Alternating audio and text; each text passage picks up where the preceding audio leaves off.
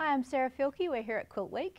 I've got a little tip for you. If you'd like to try my improv lettering technique, the most important thing to remember to determine the height and the size of your letter is to start with the negative space in the middle because this little hole here is actually going to determine what size your letters are.